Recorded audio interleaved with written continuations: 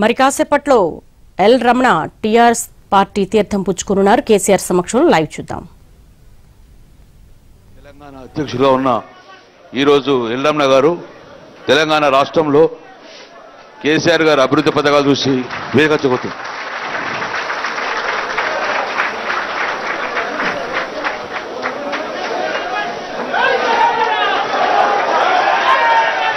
కేసీఆర్ గారి నాయకత్వం! కేసీఆర్ గారి నాయకత్వం. జై తెలంగాణ. శ్రీశైలం.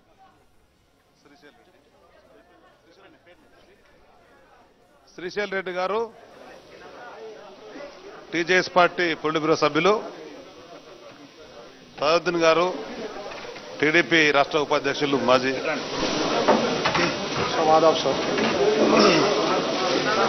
ఎర్రమాద వెంకన్న గారు అఖిల భారత పద్మశాల సంఘ చేనేత అధ్యక్షులు. బింగి శ్రీధర్. హుజరాబాద్. రామకృష్ణ వికారాబాద్. మధుకర్. మధుకర్ కంటోన్మెంట్. సత్యనారాయణ. కార్తిక్. కార్తిక్.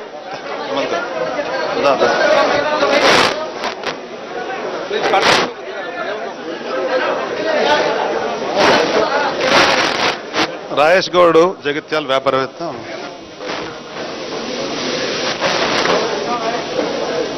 కార్తిక్ మా అబ్బాయి. Businessman. కలిసి. లక్పత్ రెడ్డి ధర్మారాం జై తెలంగాణ జై కేసీఆర్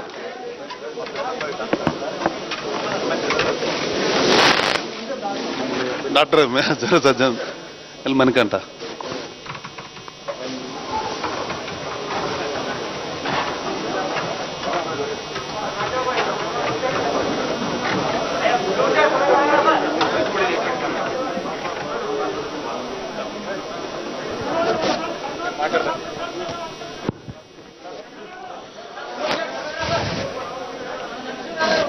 అందరికీ నమస్కారం. తెలంగాణ రాష్ట్రం కొత్త రాష్ట్రం. ఈరోజు తెలంగాణ రాష్ట్ర ప్రజల కోరిక చిరకాల వాంఛను వారికి తెలంగాణ రాష్ట్రాన్ని తీసుకొచ్చిన మహానుభావుడు గౌరవనీయులు మన ముఖ్యమంత్రి కేసీఆర్ గారికి మనస్ఫూర్తిగా వారికి అభినందన తెలియజేసుకుంటూ తెలంగాణ రాష్ట్రం వచ్చిన తర్వాత కాళేశ్వర జలాలతో పాటు ఇరవై నాలుగు కరెంటుతో పాటు భారతదేశంలోనే ఈరోజు అన్నపూర్ణ రాష్ట్రంగా తెలంగాణ రాష్ట్రం ఏర్పడదంటే ఆ ఘనత గౌరవ ముఖ్యమంత్రి కేసీఆర్ గారు వచ్చి ఆ యొక్క కేసీఆర్ గారు తీసుకొచ్చిన ఈ సంక్షేమ పథకాలు కానివ్వండి ఈ అభివృద్ధి కానీ చూసి గతంలో కూడా ఎవరు ఈ రాష్ట్రం కోసం పాటుపడలేదు. ఈరోజు గౌరవ ముఖ్యమంత్రి కేసీఆర్ ఏవట్టే తెలంగాణ రాష్ట్రంలో సంతోషంగా ఉన్నారని చెప్పేసి ఇక ఈ భూమి మీద గాలి ఉన్నంత వరకు టీఆర్ఎస్ పార్టీకి ప్రత్యామ్నాయం లేదు అని చెప్పి ఆలోచించే రోజు గౌరవ ఎల్ రమణ గారు ఈరోజు టీడీపీలో తన పుట్టుక నుంచి టీడీపీలో ఉండడం కానీ ప్రత్యామ పార్టీ ఇక్కడ కేసీఆర్ గారి స్థాపించిన టీఆర్ఎస్ పార్టీ కేవలం ప్రజల కోసమే స్థాపించిన పార్టీ కాబట్టి కాబట్టి ఆకర్షితులై టీఆర్ఎస్ పార్టీకి ఆకర్షితులై ఈరోజు నేను పార్టీలో కలుస్తున్నందుకు ఎల్లమ్మ గారికి మేము స్వాగత ఉత్సవం తెలియజేసుకుంటూ తప్పక తప్పక ఏదైతే ప్రజల కోసం తపనబడే పార్టీ కేసీఆర్ గారి పార్టీ కాబట్టి టీఆర్ఎస్ పార్టీ కాబట్టి ఈ రాష్ట్రం ఈ ఈ భూమి మీద గాలి ఉన్నంతసేపు ఈ టీఆర్ఎస్ పార్టీని మరవరు అని చెప్పి మనస్ఫూర్తి చెప్పుకుంటూ మీ అందరికీ కూడా స్వాగతం తీసుకుని మరొక్కసారి ఎల్లమ్మ గారికి స్వాగతం సుస్వాగతం తెలియజేసుకుంటుంది ఇప్పుడు మనందరి ఆశజ్యోతి బడుగోలు బలహీన వర్గాలు ఈరోజు సంతోషంగా గౌరవ ముఖ్యమంత్రి కేసీఆర్ గారు వారిని మాట్లాడుతుందిగా మేము మనస్ఫూర్తిగా వారిని కొట్టుకున్నాం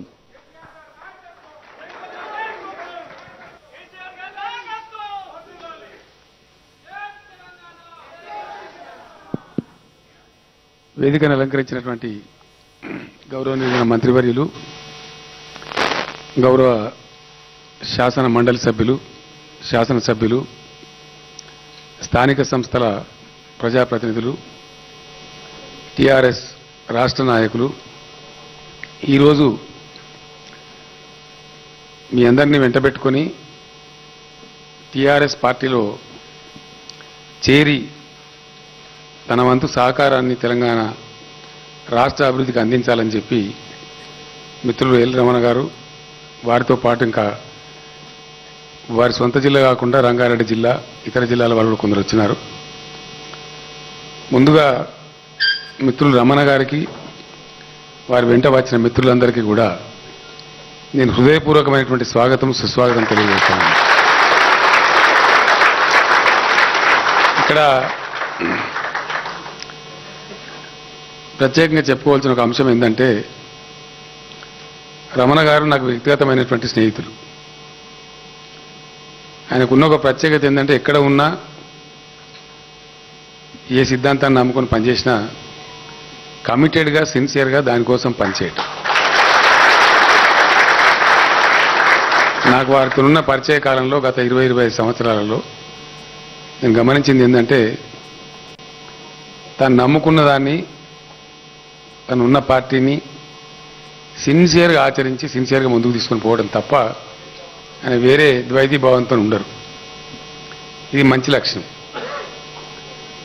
చాలామంది పార్టీలో చేరుతుంటారు. నాకు రమణ గారు చేరుతున్నప్పుడు చాలా సంతోషం కూడా కలిగింది. ఎందుకంటే వ్యక్తి యొక్క మంచి వ్యక్తిత్వం ఒకటి. రెండవది చేనేత వర్గంలో కూడా నాయకత్వం పెరగాల్సినటువంటి అవసరం ఉంది. టీఆర్ఎస్ పార్టీకి ఒకటే ఒక ఎమ్మెల్యే ఉండే. దురదృష్టవశాత్తు ఆయన ఓడిపోయింది ఎన్నికలు. తర్వాత ప్రాతినిధ్యం లేదు. ఆ వెలితి ఉండేది కొంచెం. మేమే ఇబ్బంది ఫీల్ అయ్యేవాళ్ళం చాలా సందర్భాలలో మాట్లాడుతుంటే ఇది పెద్ద జనాభా ఉండేటువంటి వర్గం చాలా సమస్యలు ఉండేటువంటి వర్గం సరి అయినటువంటి ప్రాతినిధ్యం లేదు అని చెప్పి కొన్ని ప్రయత్నాలు చేసినాం. ఈ మధ్యనే వరంగల్ మేయర్గా సుధారాణి గారిని తెచ్చుకోగలిగినాం. రాష్ట్ర ఎన్నికల సంఘం అధికారిగా కూడా నిజామాబాద్ జిల్లాకు చెందిన వ్యక్తిని స్టేట్ ఎలక్షన్ కమిషనర్ పార్థసారథి గారిని కూడా తెచ్చుకోగలిగినాం. ఇట్లా కొన్ని కొన్ని చేస్తూ ఉన్నాం. కానీ పొలిటికల్ వైస్ కూడా కావాలి. రాజకీయ ప్రాతినిధ్యం కూడా కంపల్సరీ కావాలి. చేనేత సామాజిక వర్గం అనుభవిస్తున్నటువంటి బాధలు కొన్ని ఉన్నాయి. రాష్ట్ర ప్రభుత్వం కొంత పరి- ప్రయత్నం చేస్తూ ఉంది.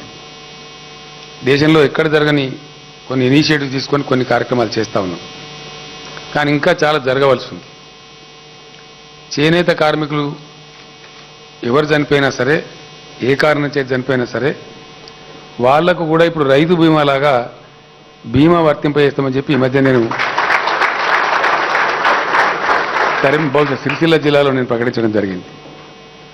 దానికోసం అధికారులకు ఆదేశాలు ఇచ్చినాం. డెఫినెట్గా దానికి సంబంధించి కార్యక్రమాలు స్టార్ట్ అయినాయి.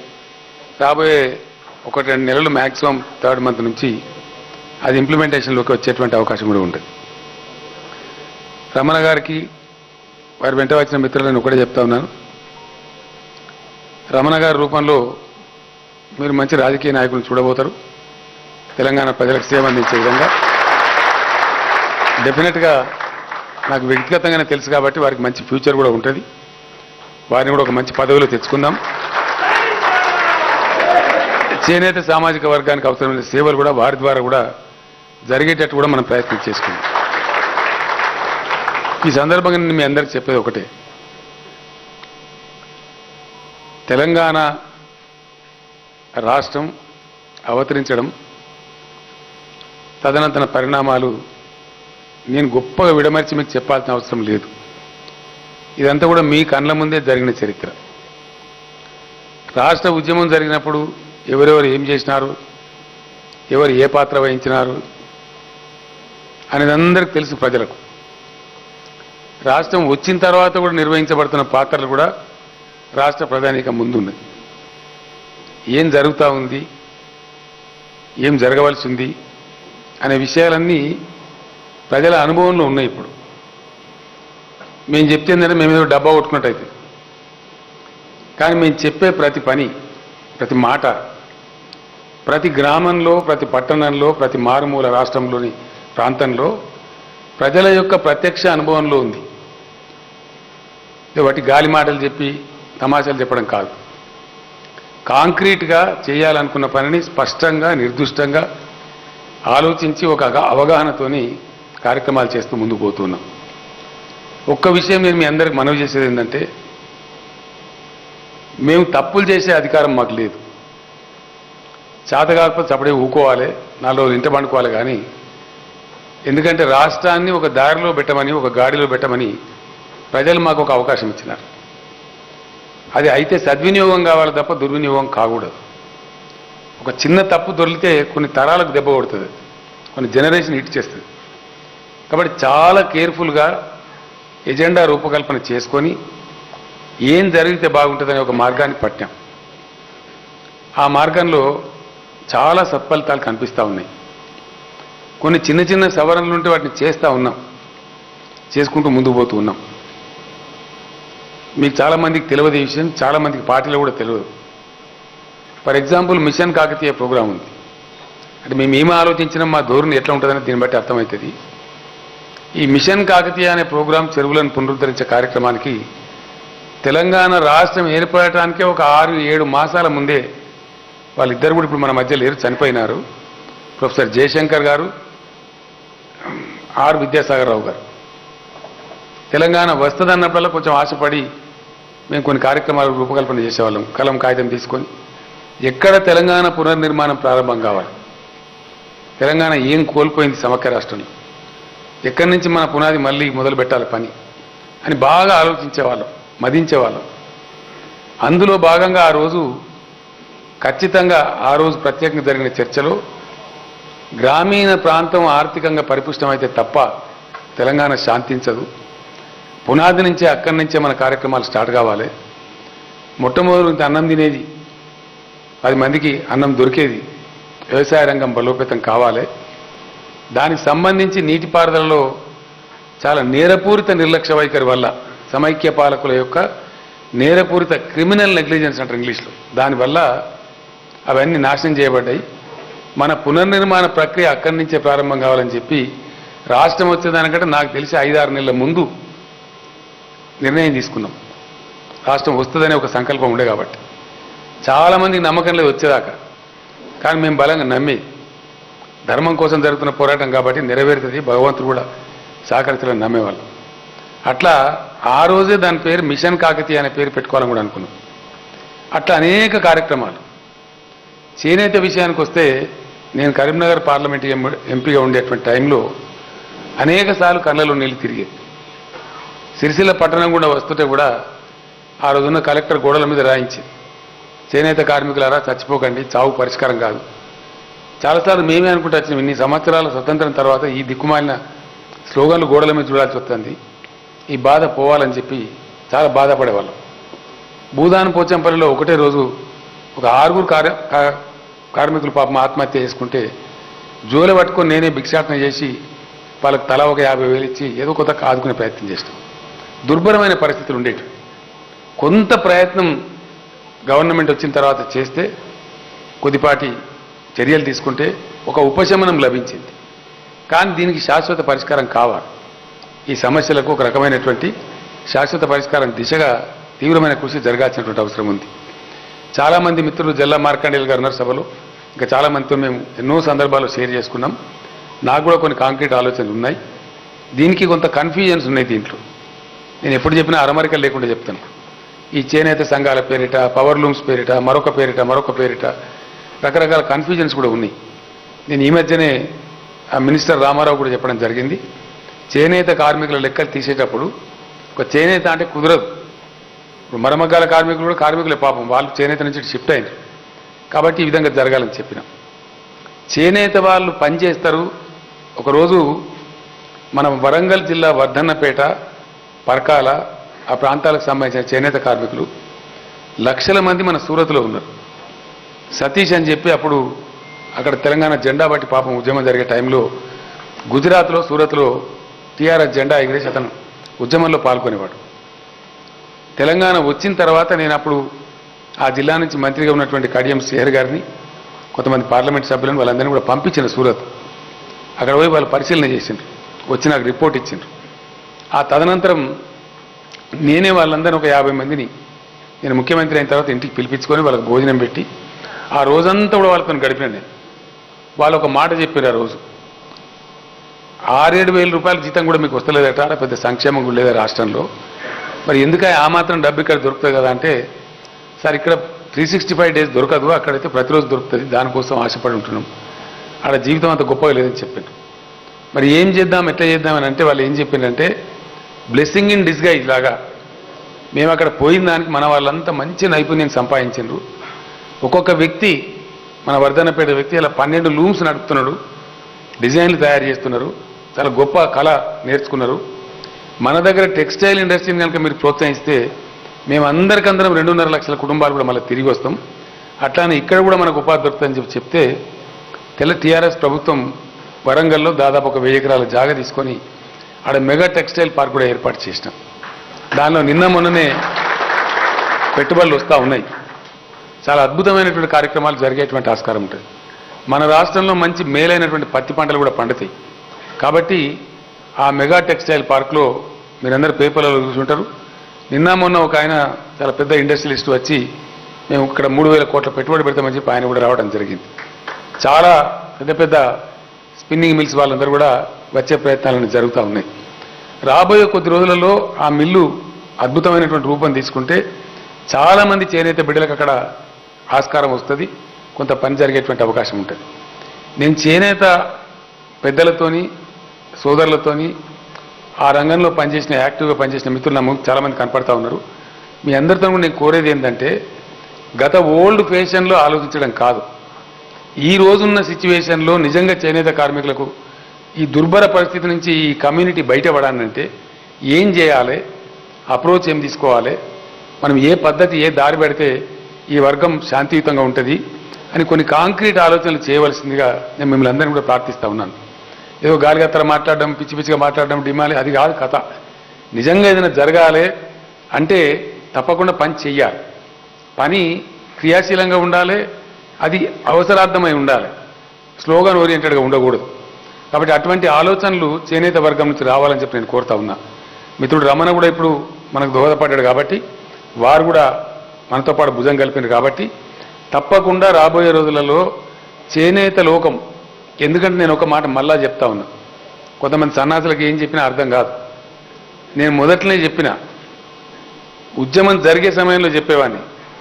ఉద్యోగస్తులందరికీ చెప్పిన రోజు ఉద్యోగ సంఘాల సమావేశం జరుగుతూ ఉంటే తెలంగాణ రాష్ట్రం అంటూ ఏర్పడటం జరిగితే డెఫినెట్గా మనం మంచి ధనిక రాష్ట్రంగా ఉంటాం మంచి రిసోర్స్ఫుల్ స్టేట్గా ఉంటాం. కాబట్టి ఇండియాలోనే నెంబర్ వన్ జీతాలు మీకు ఇచ్చే పరిస్థితి కూడా ఆ రోజు నేను చెప్పిన. అది నిజమైంది ఇలా జరుగుతూ ఉంది. మన మన తెలంగాణ ఉద్యోగులు దేశంలో నంబర్ వన్ కేటగిరీలో ఇలా శాలరీస్ తీసుకుంటా ఉన్నారు. మీ అందరికి తెలిసే ఆ విషయం? అట్లానే మనం మంచి రాష్ట్రంగా ఉన్నాం చాలా రిసోర్స్ఫుల్ రాష్ట్రంగా ఉన్నాం. వాస్తవానికి మనది బంగారు తునక. చేతిలో పరాధీనమై నలిగిపోయినం తప్ప మనకు రిసోర్సులు లేక కాదు వనరులు లేక కాదు. నేను ఒక నలభై ఎకరాల భూమి అమ్మితే రెండు వేల కోట్ల రూపాయలు ఇచ్చింది అది ప్రజాధనం. ఆ డబ్బు ప్రజల సొమ్ము. అట్లా వచ్చిన డబ్బునంతా ఏం చేస్తాం? డెఫినెట్గా మా చేనేత కోసం వాడుకుంటాం మా దళితుల కోసం వాడుకుంటాం మా పేదరికం కోసం వాడుకుంటాం. దేనికి వాడతాం ఆ డబ్బును? వంద శాతం ఈ సమాజంలో ఉన్న ప్రతి వర్గం ప్రతి కార్మికులు ప్రతి ఒక్కరు తల ఎత్తుకొని గౌరవంగా ఎస్ మాది తెలంగాణ అని చెప్పుకునే పరిస్థితి రావాలనే ప్రయత్నం చేస్తాం తప్ప వేరే ప్రయత్నాలు చేయం ఇంకా కొన్ని చిన్న చిన్న ముక్కలున్నాయి ఇప్పుడే ఇంతకుముందు చీఫ్ సెక్రటరీ నాకు చెప్తా ఉన్నాడు. పంతొమ్మిది నుంచి పార్లమెంట్ సమావేశాలు ఉన్నాయి కాబట్టి పార్లమెంట్ సభ్యుల యొక్క సభ జరుగుతూ ఉండి నేను మధ్యలో లేచి వచ్చిన. రమణ గారు వచ్చారు వారికి నేను కండువా కప్పి రావాలి. నాకు వ్యక్తిగతంగా సన్నిహితుడు. నేనే పోవాలని చెప్పి మీరు నన్ను క్షమించాలని చెప్పి నేను వచ్చిన ఇక్కడికి. ఇంకా ఆయన మీద ఉండే వ్యక్తిగతమైన ప్రేమతోని నేను రావడం జరిగింది. అయితే పార్లమెంట్లో మన పాత్ర ఏంది ఏం చేయాలి అనే దాని మీద చర్చ జరుగుతూ ఉంది అక్కడ. అక్కడ చీఫ్ సెక్రటరీ గారు ఉన్నారు. నిన్న ఒక ముక్కని అమ్మేసిండ్రు ఇలా కూడా ఒక పదిహేను ఎకరాలు పదహారు ఎకరాల ముక్క అమ్ముతున్నారు. ఇప్పటికే నలభై ఐదు పాట అని చెప్పిండు ఆయన. నేను వస్తూ ఉంటే. అంటే మనకున్న ఒక చిన్న చిన్న మొక్కలు పరాధీనమైతాయి కబ్జాల పాలైతాయి లిటిగేషన్ అవుతుందని చెప్పి అనుకున్న కాడ గా చిన్న చిన్న ముక్కలు అమ్మితేనే మనకు వేల కోట్ల రూపాయల సంపద సమకూరుతా ఉంటుంది. ఇంకా ఒక మాట చెప్పానంటే లేటెస్ట్ ఫిగర్స్ ప్రకారం నేను చెప్పేది కాదు గవర్నమెంట్ ఆఫ్ ఇండియా లెక్క. తెలంగాణలో వరి ధాన్యం పండేది. మొత్తం కలిపి మంచి బెటర్ ఇయర్లో గతంలో పన్నెండు వేల కోట్లకు మించకపోయేది ఆదాయం. వ్యవసాయంలో ఒక వరి మాత్రం వేరే పంటలు కాదు. ఒక వరి ద్వారా రాష్ట్ర జిఎస్డిపికి సమకూరే ఆదాయం ఎంత అంటే పన్నెండు వేల కోట్లు. ఈరోజు తెలంగాణలో వరి ధాన్యం ద్వారా తెలంగాణ జిఎస్డిపికి వస్తున్న ఆదాయం యాభై ఒక్క వేల కోట్ల రూపాయలు. తెలియక యాభై ఒక్క వేల కోట్లు. ఇంక ఇది పూర్తి లెక్క కాదు. ఎందుకంటే మన అమ్ముకుంటారు. మన సత్తుపల్లి రైతులంతా రాజమండ్రికి అమ్ముకుంటారు. అటువంటి పిల్ఫరేజ్ పోను కాంక్రీట్గా మనకు లభించిన లెక్క ప్రకారం చూస్తేనే చేంజ్. దిస్ ఇస్ గుణాత్మకమైన మార్పు. ఈ రకంగా కొంచెం పని మంచిగా జరిగితే అద్భుతమైన ఫలితాలు వస్తాయి వస్తాయి. పాజిటివ్గా వస్తాయి రేపు ఇంకా ఉజ్వలమైన భవిష్యత్తు ఉంటుంది. మనం ధనిక రాష్ట్రంగా ఉన్నాం పేద రాష్ట్రంగా లేము. కాబట్టి వందకు వంద శాతం చేనేత వర్గం కూడా రేపు సమున్నతంగా గౌరవంగా బతికే పరిస్థితులు వస్తాయి. కొద్దిపాటి టైం. ఇప్పుడు కొద్ది చేసినాం ఉపశమనంలాగా చేసుకున్నాం. చచ్చిపోకుండా చేసుకున్నాం. ఒక ధీమా కల్పించినాం. మమ్మల్ని ఆదుకుంటుంది ప్రభుత్వం అనేటువంటి ఒక అవగాహన కల్పించినాం. అదేవిధంగా కాంక్రీట్గా ఇంకా ఉజ్వలంగా బతకడానికి అవసరమైన మార్గాలు ఉన్నాయి లేక లేవు. అవి ఏంటి? ఇప్పుడు వరంగల్ టెక్స్టైల్ రూపంలో ఒకటి చేస్తూ ఉన్నాం. సిరిసిల్ల అపరెల్ పార్క్ రూపంలో ఒకటి చేస్తూ ఉన్నాం. ఇంకా కొన్ని ఆవిష్కరణలు జరగాలి. అదేవిధంగా ఎన్యూమరేషన్ కరెక్ట్ జరిగి ఈ సొసైటీలు కూడా తప్పుడు నడక నడవకుండా గవర్నమెంట్ ఇచ్చే ప్రతి రూపాయి హండ్రెడ్ పర్సెంట్ సద్వినియోగం అయ్యేటట్టు వాళ్ళ కుటుంబాలకు చేరేటట్టు వాళ్ళ సంక్షేమం జరిగేటట్టు చర్యలు చేపట్టే పీరియడ్లో నేనే సమావేశం పిలుస్తా కావచ్చు. చేనేత పెద్దలందరినీ కూడా పిలిచి కూర్చుంటాం మనందరం. దీర్ఘంగా చర్చ చేద్దాం. నేను డిపార్ట్మెంట్కి చెప్పినను. వాళ్ళు కొన్ని కార్యక్రమాలు చేస్తున్నారు. ఆ విధంగా మనం ముందుకు పోదామని నేను తెలియజేస్తా ఉన్నా. ఇంకొక మాట కూడా మీ అందరికీ నేను మనవి చేసేది. ఒక స్పష్టమైన అవగాహనతో అందరు తటపార కింద పెట్టి ఇక కాదులే అని చెప్పి నిరాశకు గురైన సమయంలో నేను ఒంటరిగా బయలుదేరిన తెలంగాణ కోసం. ఆ రోజు ఎటువంటి అధికారం ఉన్న పెద్దలను ఎదుర్కొని ఎటువంటి ఛాలెంజ్ తీసుకొని వెళ్ళినా మీకు తెలుసు. దానికి కేవలం గుండె ధైర్యం తప్ప ఇంకోటి లేదు ఆ రోజు. ఎటు చూసినా కారు చీకటి. నేను కనబడుతున్న నా ఫ్రెండ్ కూడా సంధిలోకి పోతుండే. ఇంతో మాట్లాడితే అక్కడ తెలుస్తుందేమో అన్నట్టు. అంత ఘోరమైన పరిస్థితులలో ఒంటరిగా బయలుదేరితే మొండిగా ప్రయత్నం చేస్తే చిత్తశుద్ధితో ప్రయాణం చేస్తే ఇలా ఖచ్చితంగా తెలంగాణ సాధ్యమైంది. తెలంగాణ సాధ్యం కావడమే కాదు అద్భుతాలు ఆవిష్కరిస్తూ ఉన్నాం. రెండు మూడు విషయాలు నేను చెప్తాను చెప్తే శాంతాడంత ఉంటుంది రేపు గీయాలలాగా దాకా చెప్పచ్చు. కానీ తెలంగాణ వచ్చినాడు కరెంటు పరిస్థితి ఏందో మీకు తెలుసు. ఇండియాలో చిట్ట చివరిలో ఉన్నాం మనం. మన తలసరి విద్యుత్ వినియోగం పర్ క్యాప్టా పవర్ యూటిలైజేషన్ అది హ్యూమన్ ఇండెక్స్ డెవలప్మెంట్లో పరిగణిస్తారు. ఆ రోజు వెయ్యిన్ని డెబ్బై యూనిట్లు. ఈరోజు రెండు వేల ఒక వంద డెబ్బై యూనిట్లు మన మన తలసరి విద్యుత్ unit. We're number one in the country ఇండియాలో నంబర్ వన్ పొజిషన్లో ఉన్నాం చివరి నుంచి మొదటి దశకు వచ్చేసి అంటే ఈ విధంగా అనేక రంగాలలో పట్టుబట్టి గట్టిగా చేస్తే ఇలా తెలంగాణలో కరెంటు పోతే వార్త ఉంటే వార్త కాదు. కరెంటు ఉంటే వార్త ఇలా కరెంటు పోతే వార్త. ఈ విధంగా ఇటువంటి గుణాత్మకమైనటువంటి మార్పులు. ప్రపంచంలోనే ఇండియాలో కాదు ప్రపంచంలోనే ఎక్కడ కూడా చాలా అభివృద్ధి చెందిన అమెరికా లాంటి దేశాలలో కూడా మన మిషన్ భగీరథ శాటిలైట్ ఉంది. కొన్ని చోట్ల ఉంది కొన్ని ప్రాంతాలకు ఉంది కొన్ని ప్రాంతాలకు లేదు. ఆ విధంగా ఒక అద్భుతమైన కార్యక్రమం మిషన్ భగీరథ. రైతులు అనుభవించిన బాధలు మీకు తెలుసు. దశాబ్దాల తరబడి నష్టపోయినాం. విఆర్ఓల చేతుల బతుకులైపోయినాయి. ఇవాళ ధరణి ఒక విప్లవం. రెండు ఎకరాల భూమి ఉన్నా ఎకరం భూమి ఉన్నా నిశ్చింతగా నిద్రపోవచ్చు ఎవడు మార్చే ప్రశ్న లేదు. మునుపు ఒక విఆర్ఓ ఎవరి భూమిని పడితే అని ఎవరికి పడితే వాని రాసే పరిస్థితి. ఒక ఎంఆర్ఓ ఈరోజు ఎంఆర్ఓకు లేదు ఆర్డీఓకు లేదు జాయింట్ కలెక్టర్కి లేదు కలెక్టర్ లేదు చీఫ్ లేదు chief secretary great intervention Dharani. అదొక విప్లవం. ఇట్లాంటి అనేక కార్యక్రమాలు అనేక విషయాలు తీసుకొని ప్రజలకు ఒకటి ఒకటి ఒకటి ఒకటి కాంక్రీట్ పద్ధతిలో చేసుకుంటూ మనం ముందుకు పోతా ఉన్నాం. ఈ సందర్భంలో నేను మిమ్మల్ని కోరేది ఒకటే. మీ దీవెన మీ అండదండలు మీ సహకారం ఉన్నన్ని రోజులు నా లైన్ను ఎవ్వరు కూడా ప్రపంచంలో మార్చలేరు. వంద శాతం నేను గుండెల నిండా ఏ తెలంగాణకి స్వప్నించినో ఏ తెలంగాణ కావాలని కోరుకున్నానో హండ్రెడ్ పర్సెంట్ దాన్ని అచీవ్ చేసి దానికి మనం చేస్తా ఉన్నాం.